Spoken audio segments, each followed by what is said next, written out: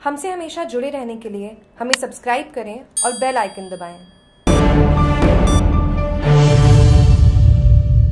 ग्रामवासियों ने पूजा छाबड़ा को घोड़ी पर बिठाकर निकाला विजय जुलूस राजसमंद ज़िले की भीम विधानसभा क्षेत्र की बरार व हामेला की वेर पंचायतों में शराब मुक्त पंचायत बनाने के लिए मातृशक्ति ने छियानवे प्रतिशत वोटिंग कर शराब रूपी रावणा का खात्मा कर ऐतिहासिक जीत हासिल की शराबबंदी आंदोलन के राष्ट्रीय अध्यक्ष के नाते मातृशक्ति का आभार प्रकट करती हूँ। मुख्य अहम भूमिका विधायक सुदर्शन सिंह रावत, सरपंच पंकजा कंवर, सरपंच राकेश कई सामाजिक कार्यकर्ता, वर्तमान सरपंच, पूर्व सरपंच शराबबंदी आंदोलन को सफल बनाने के लिए अधिक से अधिक वोट डलवा कर बरार ग्राम पंचायत को शराब मुक्त किया। जागरूक टीवी के राज्य संबंध से खास रिपोर्ट।